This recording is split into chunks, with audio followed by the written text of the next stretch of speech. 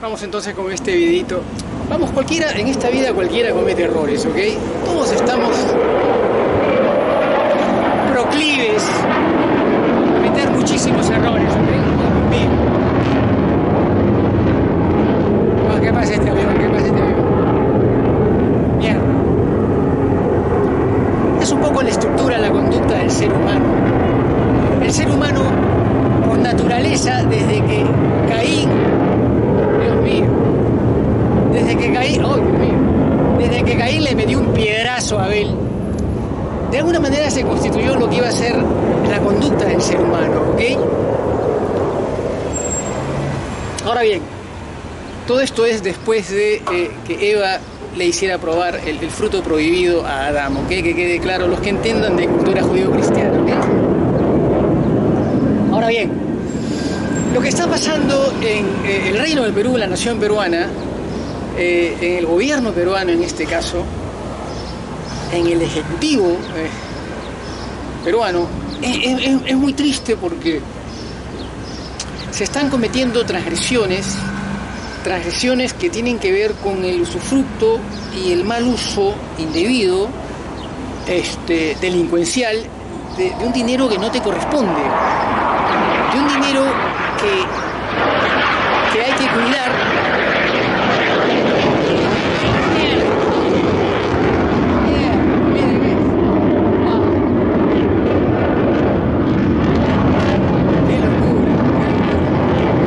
De un dinero que hay que cuidar porque no es tuyo, no es tu dinero, no es tu plata. Cuando no es tu dinero lo tienes que cuidar, loco. Lo tienes que cuidar porque no es tuyo, le pertenece a una tercera persona. Son cosas que esta gente no entiende. Cuando tú has crecido desde niño y desde niño se te ha dicho, el día que llegues, trata de acumular todo de la manera más rápida posible y lo más que puedas, se te ha insertado un chip.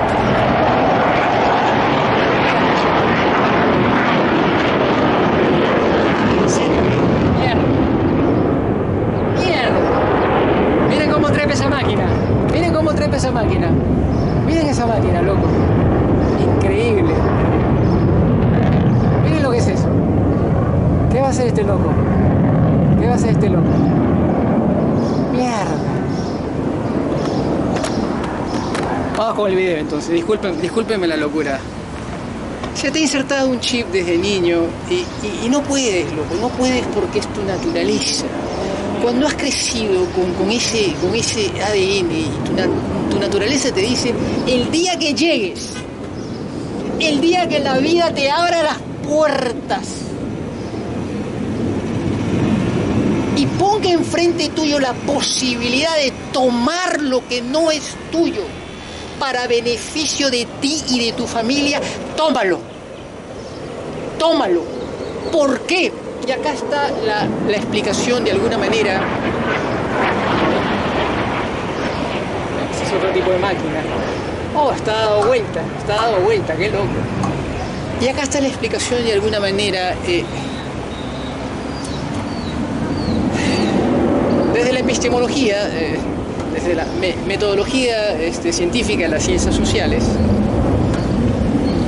se trata siempre, por supuesto, de analizar cuáles son las variables en juego, cuál es la presentación de los elementos a ser este, evaluados, ¿ok?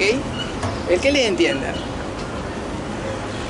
Si a este sujeto desde su niñez se le han presentado estas variables y al encontrarse con todos los recursos, con todos los factores, con todas las variables que le generan ese grado de confiabilidad y certeza de que no estaría cometiendo ninguna transgresión.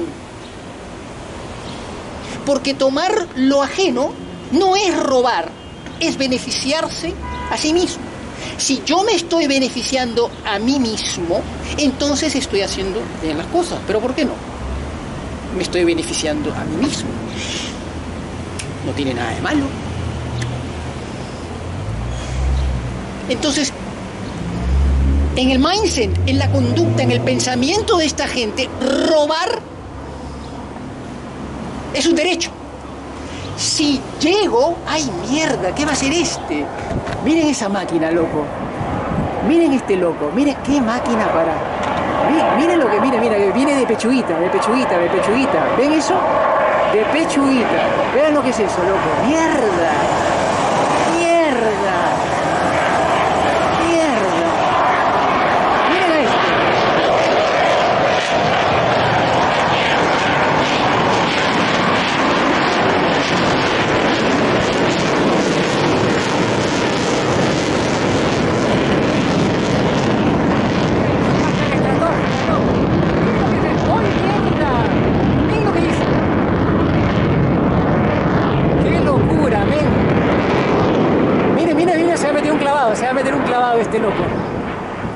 Locura. Oh, mira, ve ahí, bajó. Bajó. Y ahí viene otra vez, ahí viene otra vez. Vean lo que es esto. ¡Mierda!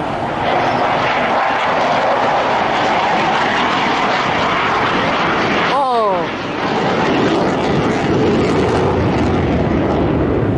¡Qué locura, por Dios! ¡Uh, mierda! Miren lo que es eso. Hasta la estratosfera, loco. ¡Mierda!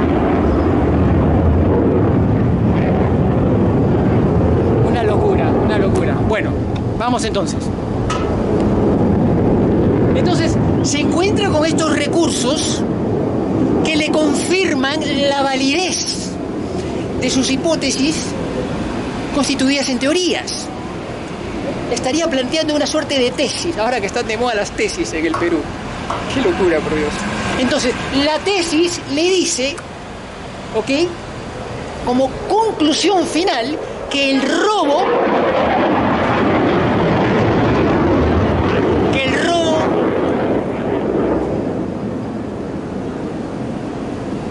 es un derecho que robar es un derecho porque he esperado toda una vida para confirmar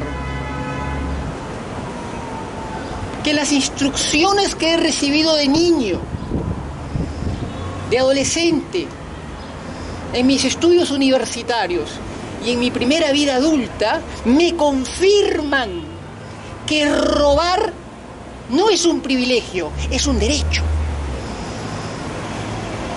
Porque le he peleado a codazos y escopitajos. Y entonces merezco robar. Merezco robar porque es parte de mi lucha es parte de mi lucha. Y mi lucha me dice que he llegado a la cumbre. Meter la mano a la lata. Meter la mano a la lata confirma todas las teorías que me expusieron desde niño. El día que llegues, tómalo todo lo más rápido posible. No lo dudes.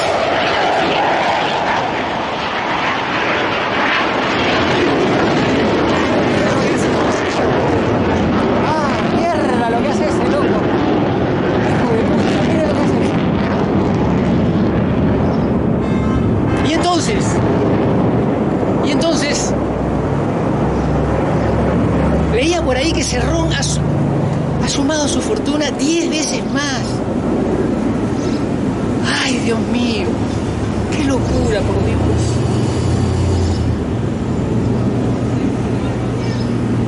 Es que mi problema es quererte tanto, Perú, loco. No puedo permitirlo, ¿no? Es que yo no puedo permitir esas cosas.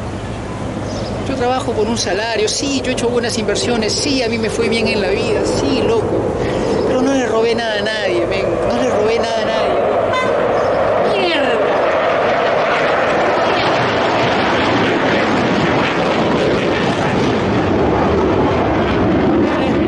No le robé nunca nada, ni un mango. Soy un hijo de puta, soy una basura, es cierto. Todo eso es cierto, loco. Tengo un pensamiento asqueroso, todo eso es cierto, loco mi puta vida le robé nada a nadie, men. Ni le debo nada a nadie tampoco, gracias a Dios. La vida ha sido muy generosa conmigo en ese aspecto.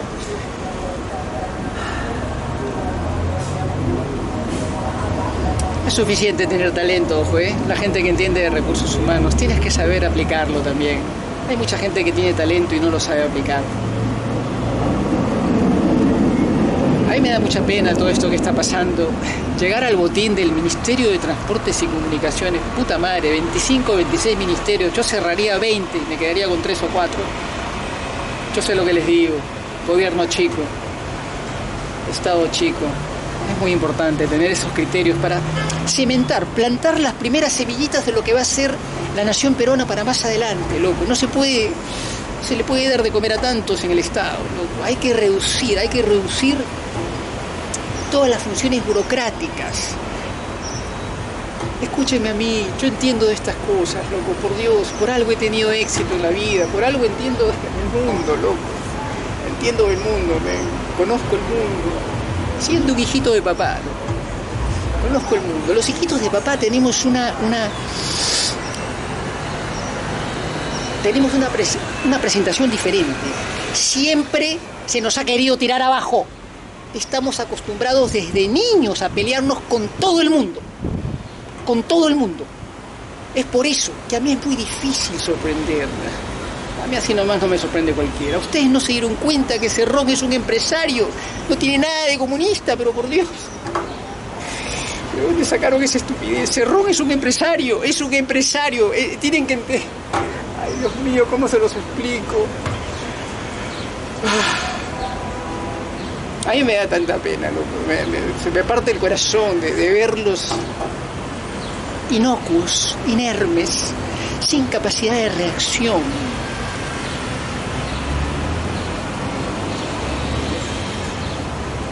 Yo solo no puedo, obviamente. No hay gente de mi nivel en el Perú.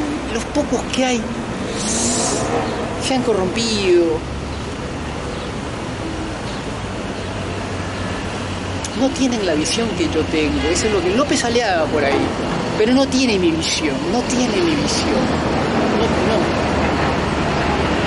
Oh, hay dos máquinas. Son dos máquinas. No tiene mi visión. López Aliaga no. Es un, es un candidato de lujo, ¿eh? No tiene mi visión. Yo entiendo de toda esta mierda, loco. La gente se quedó, la gente de mi generación, los que estudiaron una carrera, los que... La Universidad del Pacífico, la Católica, terminaron, se graduaron, consiguieron buenos trabajos, se les hinchó la panza y ahí terminó su vida, loco. Hicieron una familia, les va bien, pero no vieron más. Es una generación para mí perdida, no vieron más, no, no les dio más el cerebro. Loco, la vida continuaba, la vida continuaba y había que entenderlo, había que entenderlo, la vida continuaba. Y un buen día tienes que servir a tu país porque si no hay nadie, ¿quién? Si no hay nadie, ¿quién? No veo a nadie, no veo gente que tenga una capacidad, una visión de, de entender lo que es esta mierda, de lo que es un gobierno, de lo que es un Estado, una nación, un reino. Qué es lo que se tiene que abrir, qué es lo que se tiene que cerrar y cómo expandirse. Expandirse no geopolíticamente, no me refiero, sino en términos comerciales. El Perú es un país soleado y sacramentado. Perdimos una guerra espantosa. Ya está, ¿para qué? Mejor no hablar de ciertas cosas, loco. Sí, Chile es un país enemigo, pero ahí terminó todo. Ya está, ya, listo, listo. Hay que ganarles en la cancha. Sería bueno ganar en Santiago. Chilenos me escuchan, me siguen bastante. Yo no los quiero, está bien, es cierto, no los quiero. Pero ya está, es un tema zanjado, listo, ya está. Tampoco tener buenas relaciones y ser amigotes. No lo somos, nunca lo vamos a hacer. Pero yo no soy ningún imbécil. En 35, 40 años nos vamos a volver a encontrar. Hay que preparar a las, Fuerzas Armadas peruanas. Defensa nacional es lo primero. Les vengo hablando de esto hace 3, 4 años. Nadie me escuchaba, nadie me escuchaba. ¡Pum! Rusia tomó Ucrania. Miguel tenía razón. No es que tenía razón, loco. Es que entiendo de toda esta mierda. Entiendo de toda esta mierda. Yo como esta mierda desde niño. Comencé a leer muy tarde, ojo. Yo comencé a los 16 años. Era un anciano. En la lectura, loco, si ustedes supieran, la gente que lee de verdad comienza a los 7, 8 años. Yo comencé a los 16 años, en el último año del colegio secundario. Vergüenza me debería dar, pero nunca paré, loco. nunca paré, nunca paré. Nunca paré. Yo soy de esos locos que leen los aeropuertos, que leen los aviones. Para mí un vuelo de 5 o 6 horas, no, no son 5 o 6 horas, son 5 o 6 horas de lectura. Loco.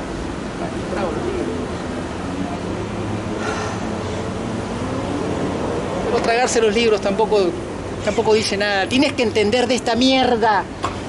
De que tienes hijo de puta que está enfrente tuyo y que te quiere comer, que te quiere comer, que te quiere comer en toda negociación. ¿Cómo es posible que no se den cuenta quién es Cerrón? Cerrón es un empresario y toda esta gente ha entrado al, al gobierno a robar. A mí me da tanta pena, tanta pena. Se resuelve en 24 meses. Yo en, en 24 meses resuelvo toda esa mierda. En 24 meses. Pondría una nueva generación, carajo, de, pitufos. Yo pondría una generación de pitufos. Ahí, ahí de viceministros. 27 ministerios. ¡Qué horror, Dios mío! Ay, por favor, por favor, qué horror, qué horror, qué horror, qué horror. Qué, qué espanto esta gente, Dios mío. Escuchen a Milton Friedman por lo menos una vez en su vida. Yo soy monárquico, republicano, con fuertes tendencias libertarias. Milton Friedman. Escúchenlo por lo menos una vez en su vida. Siendo psicólogo le hablo de estas cosas a ustedes.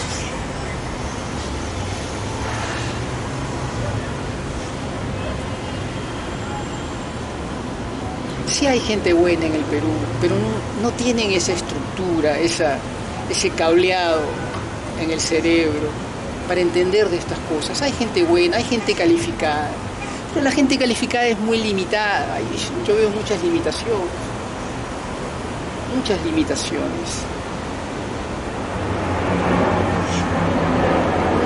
Hay muy buenos técnicos, eso es importante, porque yo necesito técnicos para poder actuar.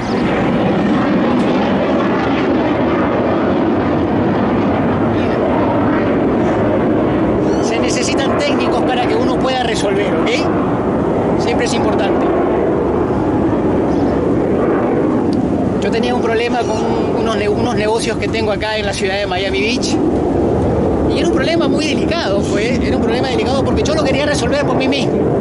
Yo soy un atorrante, a veces me meto y pienso que puedo resolver las cosas. En realidad soy un imbécil, soy un pobre infeliz. Cuando no puedes, no puedes, loco. Consulté y me dijeron 25 lucas. No, ni loco, ¿qué te voy a pagar 25 lucas? 25 lucas voy, me compro un departamento en Hialeah y se acabó. Pongo 25 lucas más y ya está, tengo un departamento en Hialeah. 50 lucas. Chiquito, de una sola habitación. Negocié con otra gente y por ahí me dijeron menos de 10. Ok, menos de 10 me parece muy bien. Vamos a hacerlo.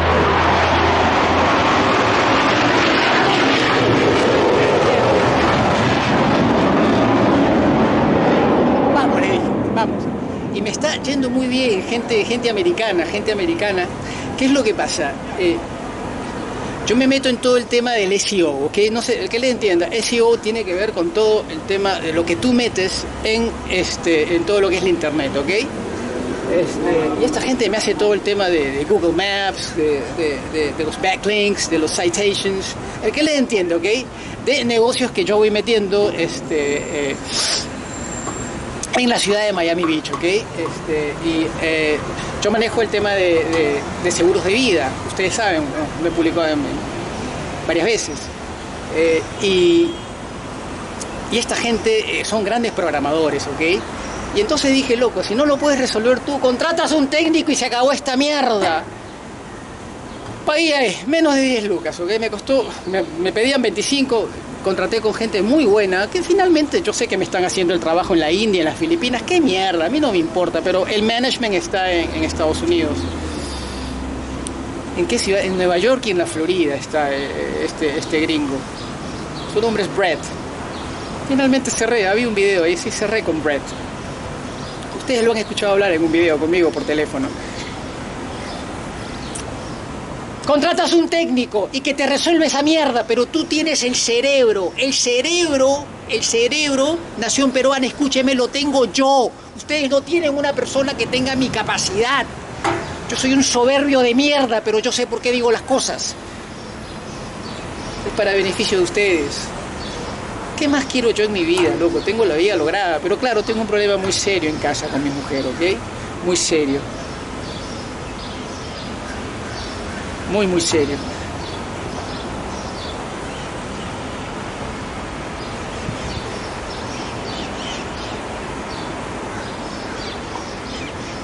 que no me permite viajar al Perú y a la Argentina. Tengo que viajar urgente a la Argentina. Urgente, urgente. Por un tema personal y por un tema que tiene que ver con ustedes, por supuesto. Con nosotros. Entonces cuando has incubado esa conducta de vida, de transgresión, es muy difícil modificarla. La única forma de terminar con la corrupción en el Perú es a través del ejemplo. Tienes que dar el ejemplo desde arriba, como estos aviones que se meten a la estratosfera, tienes que dar el ejemplo desde arriba, loco. No existe la posibilidad de meterle 25 años draconianos de cárcel y te voy a cortar las piernas y los brazos y te voy a sacar los dientes con un alicate y te voy a sacar las uñas con otro alicate. No, no, nada de eso camina, macho, nada de eso camina. Tienes que dar el ejemplo, tienes que dar el ejemplo, tienes que dar el ejemplo, loco, de lo que es ganarte la vida honradamente, lícitamente, legalmente, con tu trabajo, con tu talento, con tus habilidades, con tus dones. El obrero es digno de su salario, dice la Biblia. Esta gente no lo entiende y muchos son evangélicos. No hablo de nosotros los católicos, no, no, los católicos no conocen la Biblia, es una vergüenza. Qué vergüenza, por Dios, qué vergüenza. Los católicos solamente conocemos de procesiones, nada más.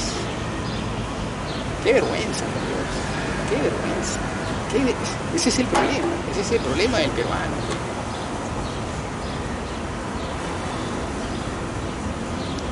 Y entonces, no importa quién elijan, ahí tienen a dos, tres aparatos impresentables. Pesalía es un buen candidato, pero no tiene mi visión. No tiene mi visión. ¿Qué gente lo acompaña?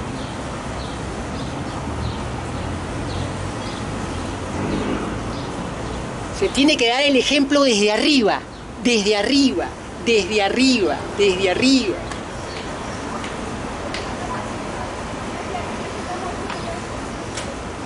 te eche esa mierda de que fulano es pro. Eso es pan con mierda, loco. Eso es pan con mierda. Todos estos apenas llegan, meten la mano a la lata porque ya la metieron. Pan con mierda. Buscando un santurrón. ¿Qué santurrón, loco? Busquen gente que esté en capacidad de resolver problemas. Problemas, problemas y que tenga una visión. En este caso soy yo. Yo tengo una visión por el país. Porque mi problema es quererte tanto, loco. Porque mi problema es quererte tanto, Perú.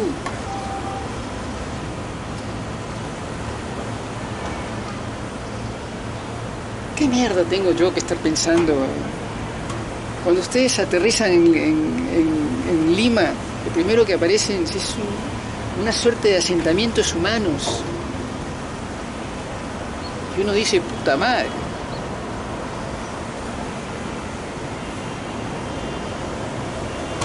Por eso en nuestro país, loco, hay gente buena, hay gente buena, gente que, vale la pena, loco, ¿me entiendes? Somos 33 millones de peruanos y no todos, todos tienen esta visión. Hay gente buena, hay gente que sí tiene una, una estructura diferente de pensamiento, hay gente buena,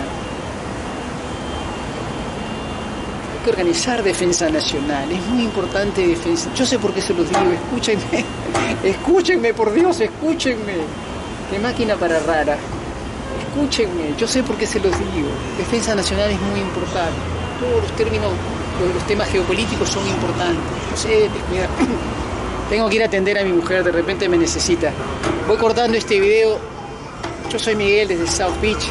El mar negrado, mierda, presente, arriba, siempre arriba. José Quiñones, vive el Perú, carajo, como me dijeron que lo dijera. Vive el Perú, carajo, Miguel. Claro que sí. Dios les bendiga. Adiós, chao, chao.